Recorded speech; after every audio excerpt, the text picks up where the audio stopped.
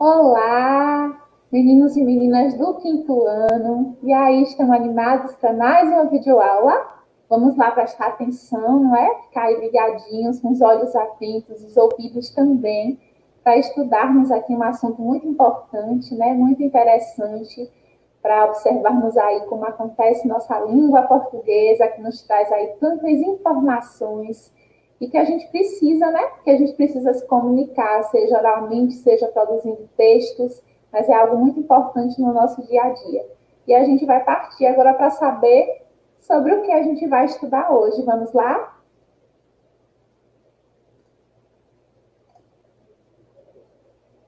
Olha só, turma, nossa videoaula, né? Como a Pro já se adiantou um pouquinho e falou aí de língua portuguesa, porque a nossa aula é de linguagens, né? E aí, nessa aula de linguagens, nós vamos estudar sobre conjunções. Então, aí, o nosso assunto de hoje é conjunções. A gente já vem estudando aí algumas classes de palavras, né? Já observamos aí o que é verbo. E aí a gente já vem observando que as palavras, elas podem ser classificadas de forma diferente, de acordo a sua utilidade. Existem aí várias e várias e várias palavras é, com origens diferentes, com formações diferentes e também com funções diferentes na fala, né? Na nossa língua, tanto quando a gente fala também quando a gente escreve. E as conjunções, elas são aí uma das classificações em que as palavras se encaixam. E hoje a gente vai entender o que é conjunção, para que serve uma conjunção, quais são as palavras que são classificadas como conjunções. Para começar aí, a Pro colocou a análise, a observação dessa imagem, né? Onde mostra um menino e seu cachorro. E a gente observar aí que essa relação de amizade, né, entre o ser humano e este animal é uma relação aí muito, muito antiga. Existem aí traços, né, pré-históricos que datam aí que a relação do homem com o cachorro, do ser humano com o cachorro, começou aí através dos lobos, né, e que esse processo foram é, os cachorros, os lobos foram mudando, chegando aí nas várias raças de cachorro que a gente observa espalhadas pelo mundo todo. Mas existem aí informações que datam que essa relação entre ser humano e cachorros, né, existem aí ó, há, há 30 mil anos atrás. Então, é uma relação de amizade, de companheirismo, de confiança, é, traçada aí por muitos e muitos anos. E aí, dentro dessa mesma imagem, a Pro trouxe uma pergunta, né? Uma expressão, uma frase para a gente analisar. É quase consenso que cães são os melhores amigos do homem. Mas como será que a amizade entre humanos e caninos teve início? Olha só, a Pro já iniciou aí na fala dela, né, ao comentar sobre a, a imagem, é, a forma como esse processo, como essa amizade, né, começou. E aí existem realmente, né, traços é, pré-históricos de que essa relação acontece aí há 30 mil anos atrás. Então, é uma relação de amizade muito, muito antiga e que foi mudando, né, porque o ser humano mudou, os cachorros também, né, foram mudando aí, foram variando em relação às suas características, mas a gente percebe que essa relação entre ser humano e caninos, em cachorros, aí é uma relação muito verdadeira, né? Com significados muito positivos, muito bom para quem tem esse tipo de animal, para quem domestica, quem cuida, né? Desse tipo de animal. Então, existem relações de amizade, de amor, onde o ser humano e os cachorros se é, relacionam como se pertencessem aí às mesmas a mesma família, né? Porque convivem aí dentro do mesmo ambiente. E a gente já sabe aí que é uma relação muito, muito antiga. E aí, dentro dessa frase, né?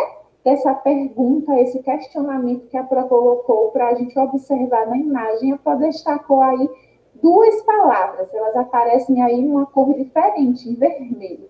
A palavra mas e a palavra ir. E aí, eu gostaria que vocês observassem essas palavras e entendessem aí que essas palavras, Dentre as várias classificações que as palavras podem ter, elas são classificadas como conjunções. Isso mesmo.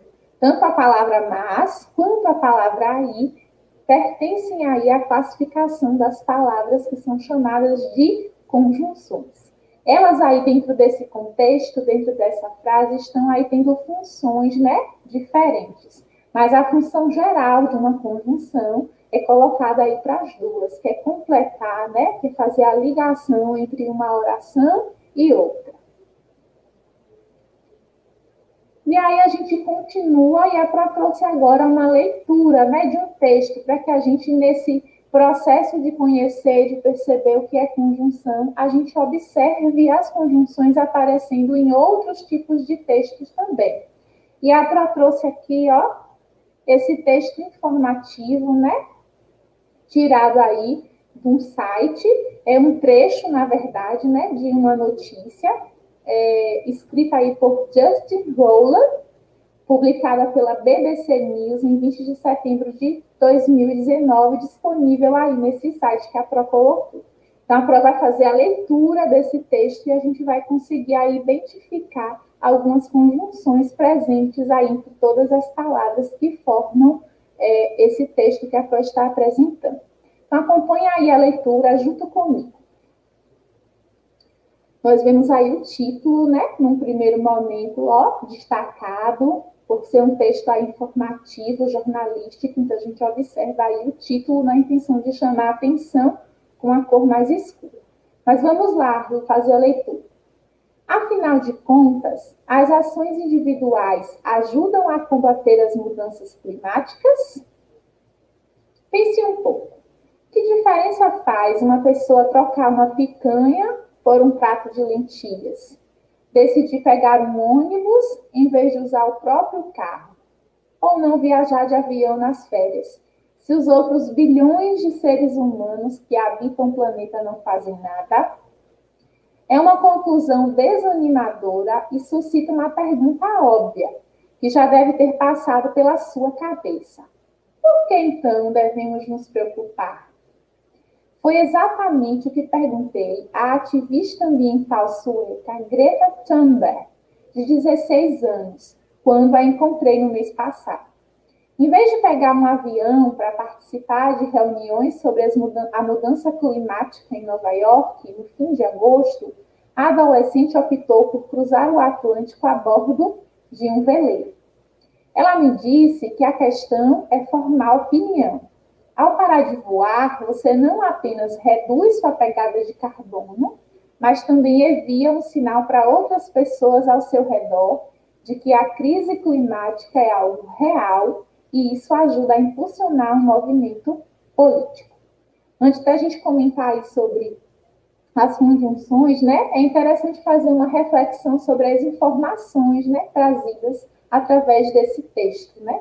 É, essa ativista ambiental, é uma ativista muito conhecida, ficou muito conhecida né, no mundo inteiro, por é, suas indagações e questionamentos por sua luta em prol do meio ambiente. Então, Greta Thunberg é, é, traz essa formação de opinião tão importante né, para influenciar outros adolescentes, outros jovens, outras pessoas, e aí traz essa opinião através das suas próprias ações. É como se ela dissesse: não adianta eu dizer que é, cuidar do meio ambiente é importante se eu, através, mesmo que sejam pequenas, né? Mas se eu, através das minhas ações eu também não fizer isso. Então, é uma forma de mostrar que precisamos defender né, aqui as ideias que a gente acredita, mas a gente também precisa colocar em prática. E mesmo que sejam em ações pequenas, a prática é muito importante, porque a gente incentiva, a gente ensina muito mais pelo que a gente é, faz do que pelo que a gente fala. Então é bem interessante essa posição, né, esse posicionamento dela ao se colocar em relação aí à preservação do ambiente, às mudanças climáticas, fazendo aí uma ação que aparentemente é simples, porque ela é um grãozinho né, em relação ao todo, mas muito importante na hora de formar opinião para o que o assunto né, que interessa a ela, que é cuidar do, do ambiente, do meio ambiente. Mas aí a gente vai voltar, né? Ficar de olho no texto e aí observar é, através da fala de Greta Thunberg, né? A Pro colocou aqui apenas um trecho, né, da fala dela. Esse texto aí é um texto com muito mais informações, tem uma reportagem aí completa, né, trazendo muito mais informações do que a Pro apresentou. Mas a Pro vai se prender aí a essa é, a esse momento onde ela dá a opinião dela, por isso que está aí entre aspas, para que a gente consiga aí observar a aparição aí das conjunções e de que forma é, essas palavras elas foram colocadas e utilizadas na construção do texto. Então vamos lá. A questão é formar opinião. Ao parar de voar, você não apenas reduz sua pegada de carbono, mas também envia um sinal para outras pessoas ao seu redor de que a crise climática é algo real e isso ajuda a impulsionar um movimento político. Então, a gente observa na fala dela a presença aí de várias e várias palavras, né? Construindo aí as frases, as orações, para que a informação que ela deseja passar, a mensagem que ela deseja passar, chegue e seja compreendida por quem está recebendo. Mas a Pro destacou aí, né? Três palavras que aí se encaixam, se enquadram na classificação de palavras quando a gente fala em conjunções. Existe aí o mais também, que aí é uma expressão formada por duas palavras, e também a palavra i, também classificada como conjunção. E aí as palavras em destaque, elas estabelecem uma ligação entre os termos ou as ideias do texto. É como se estivesse complementando, né? Ligando a oração anterior, a frase anterior com a frase que está depois da palavra em destaque. Então, essa é uma função da conjunção, né? Fazer essa ligação entre as orações ou, ou as ideias de um texto. E aí, essas palavras aí, mais também, né? E elas são chamadas de conjunções. É interessante se você aí tiver com seu caderno, se não tiver, pegue o caderno, pegue o lápis, né? e vão observando as informações que a prova está passando e podem anotar aí no caderno de vocês, que é interessante é, destacar não só a definição de conjunção, mas também os tipos de conjunções. Então, é bem importante essas informações serem anotadas, né? Para serem aí buscadas quando necessário e para que você também interaja melhor neste momento da aula. Mas aí vamos começar. Primeiro, a Pro colocou ali a definição, o conceito. O que é, então, conjunção? Essas palavras aí fazem essa ligação entre as orações. Então, vamos ver? Conjunções. São palavras que ligam os termos entre duas ou mais orações. Então, as orações, elas não ficam de forma isoladas, né? elas vão se complementando, dando continuidade. E a palavra que faz a ligação entre uma oração e outra é chamada então de conjunção. As ligações que as conjunções estabelecem podem produzir diferentes sentidos. Então, as conjunções, elas não são iguais, não é uma única palavra ou duas ou três palavras que são classificadas como conjunções. Existem aí diversas palavras dentro dessa classificação e que são atribuídas a essas diversas palavras sentidos e significados diferentes, né? Dependendo da ideia que eu quero expressar nessa ligação entre uma oração e outra. Então, aí existem conjunções dando ideia de adição, conjunções dando ideia de alternância, conjunções dando ideia de explicação, de conclusão, ideia também de tempo e ideia de oposição. Então, aí, ó, é, a gente observa ideias diferentes expressadas por palavras diferentes, né? Mas que são todas classificadas como conjunções, fazendo a ligação entre uma oração e outra. E aí a Pro trouxe essa tabela para que a gente observe a classificação das conjunções. Então, existem aí várias palavras que são classificadas como conjunções pertencentes a grupos, né? E aí nós temos classificações, são cinco classificações para as conjunções. Aí nós temos conjunções aditivas, adversativas, alternativas, conclusivas e também explicativas. Lembrando que cada tipo aí de conjunção traz uma ideia diferente quando faz essa relação de uma oração com outra. Então, a gente vai observar primeiro aí as conjunções aditivas. Quando a gente fala em aditiva, a gente lembra logo aí de adição, né? De juntar, de somar. Então, é, essas conjunções têm essa função, né? De fazer com que uma oração se ligue à outra no sentido de estar completando, de estar somando, de estar adicionando. E aí, entre essas conjunções aditivas, a gente pode citar e, nem, mas também, como, também, bem como e etc. E a Pro colocou aí um exemplo, né, de uma dessas conjunções aditivas aparecendo numa frase. Ó, vou gravar um vídeo e publicar no blog. Então, existem aí duas orações. Vou gravar um vídeo, publicar no blog. Quem é que faz a ligação de uma oração com a outra? A conjunção e. E aí faz essa ligação de forma complementar, a adicionar. Por isso, se encaixa aí como conjunção aditiva. Aí tem também as conjunções adversativas, que já vão expressar uma ideia diferente. A ideia aí das conjunções adversativas é a ideia aí de contraposição, de oposição. E entre essas conjunções a gente pode citar mas, porém, todavia, contudo, entretanto, no entanto, etc.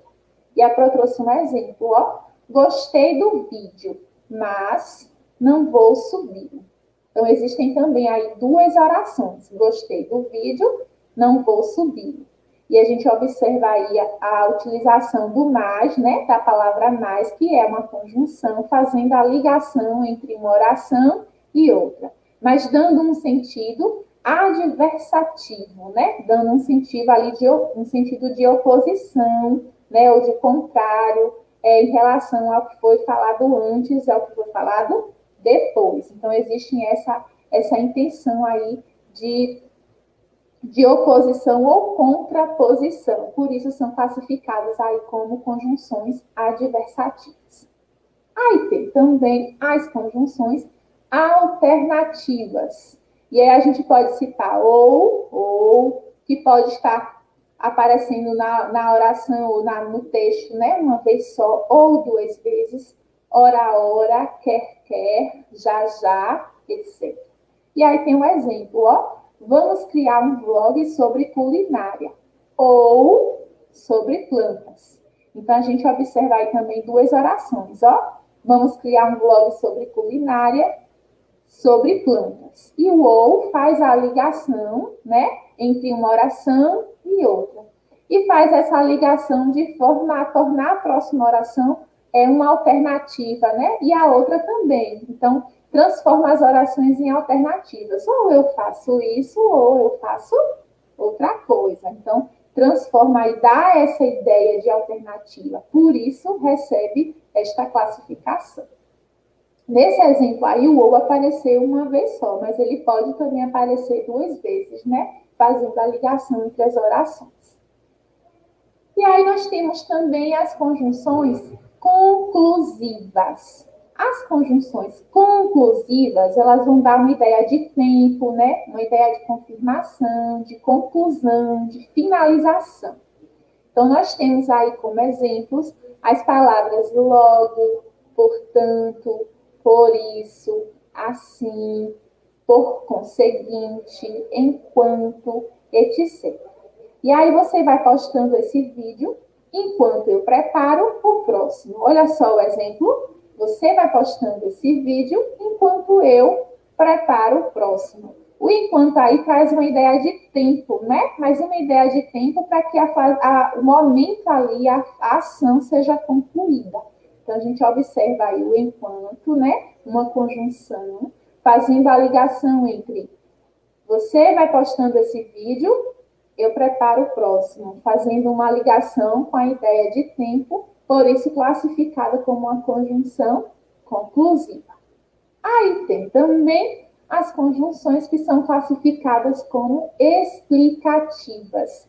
E a gente vê aí agora é, como exemplo as palavras que, porque, por isso, pois, etc. Como o próprio nome já está falando, né? A intenção, a ideia das conjunções explicativas é trazer explicação, é trazer é, complementação, justificativa, explicar. E a gente tem como exemplo, terminei meu vídeo, por isso vou descansar. Olha as duas orações aí, ó. Terminei meu vídeo, vou descansar. Quem está fazendo a ligação entre uma oração e outra? O por isso. E aí ele está trazendo essa ideia de explicação, né? Por isso, classificado, então, aí entre as conjunções aí explicativas. A Pró vai fazer agora a leitura aí, ó, revisando todo esse contexto que aparece na tabela, todas essas informações. Então vamos lá, vocês podem até fazer a leitura junto comigo e acompanhando, tá certo? Então, a classificação das conjunções. Conjunções aditivas. Quais são os exemplos? E, nem, mas, também, como, também, bem como e outras. Exemplo: vou gravar um vídeo e publicar no blog. Agora a gente vai ver as conjunções adversativas. Mas, porém, todavia, contudo, entretanto, no entanto, etc. Um exemplo: gostei do vídeo, mas não vou subir. Agora nós vamos ver as conjunções alternativas. E aí, e aí a gente observa aí. Ou, ou, ora, ora, quer, quer, já, já. E outros exemplos. Mas aí a gente vê como exemplo na frase. Vamos criar um vlog sobre culinária ou sobre plantas. Veremos agora as conjunções conclusivas. Logo, portanto, por isso, assim, por conseguinte, enquanto, etc. Exemplo numa frase: você vai postando esse vídeo enquanto eu preparo o próximo. E agora, por último, na tabela, né, as conjunções explicativas. Que, porque, por isso, pois e outras. O exemplo na frase fica assim: terminei meu vídeo, por isso vou descansar. E aí, vamos lá para um mão na massa, não é? O que é mão na massa, né? Observar na prática a utilização aí das conjunções, observando toda a adequação, né? Dependendo da ideia em que aquela frase, né? Quer expressar quando eu estou juntando aí uma oração com outra, eu estou completando uma oração com outra. Então, vamos lá. Vamos completar as notícias sobre Greta Thunberg, escolhendo a conjunção adequada. Hum, temos aí, né? Tipos de conjunções diferentes e a gente vai observar qual conjunção se encaixa melhor ao texto. Vamos lá ler esse trecho aí, ó. Em março, Tamba foi indicada para o Prêmio Nobel da Paz por três deputados noruegueses, para quem o gigantesco movimento de Greta pôs em ação é uma contribuição muito importante para a paz mundial. Ela foi considerada a mulher mais influente do ano na Suécia, um dos 25 jovens mais influentes de 2018. Então, nós temos aí duas lacunas, né? dois espaços, para que seja completado aí com conjunções. E a gente tem que observar qual das conjunções aí colocadas, elas se adequam, elas se encaixam melhor com a ideia a ser empregada aí, né? Nas frases, na construção aí do texto. Então vamos lá. Quando diz assim, ela foi considerada, então é ela também, ou ela, entretanto, foi considerada a mulher mais influente do ano na Suécia. Que palavra vocês acham que se enquadraria melhor, não é? Quando a gente está falando aí ela, entretanto, a gente vai falar é, uma ideia de discordar, de opor a ideia anterior, ou que vai completar, né? Que vai explicar a ideia anterior. Então, a gente observa aí que a palavra, a conjunção adequada é o também, porque assim, a, a, a próxima oração ela vai complementar, ela vai explicar, não é? É? a oração anterior. Se a gente colocasse, entretanto, pareceria aí a ideia de é, oposição ao que está sendo falado antes aí dessa oração. Então, vamos lá. Ela também foi considerada a mulher mais influente do ano na Suécia, mas um dos 25 jovens mais influentes de 2018, ou e um dos 25 jovens mais influentes de 2018. Novamente, a gente observa aí que o mas traz a ideia de oposição, e a gente, na verdade, quer adicionar, né? quer completar a informação. Então, nesse caso, a palavra e a conjunção a ser utilizada é a conjunção e. E a Pro colocou aqui o trecho, né, de onde é, foi tirado aí o, o texto, a, no caso aqui aparece aqui a, o endereço né, eletrônico de onde esse trecho de texto foi retirado. E aí tem como autora Vanessa Barbosa, foi tirada aqui da revista virtual Exame, 27 de setembro de 2019, disponível aqui nesse endereço eletrônico. Mas aí o nosso mundo a massa continua. A Pro tem aqui mais um trecho de texto tirado aqui do G1, né? Disponível nesse endereço também. Então, falando também de Greta Thunberg. Vamos lá? Uma imagem da ativista ambiental sueca, Greta Thunberg, tem bombado nas redes sociais. Nela, a garota de 16 anos aparece fazendo uma refeição em um vagão de trem. Do lado de fora, crianças famintas a observam pela janela. A foto é uma montagem. E aí tem duas, duas conjunções para a gente completar, né? A foto é uma montagem. E ou, ou seria aí uma junção, né?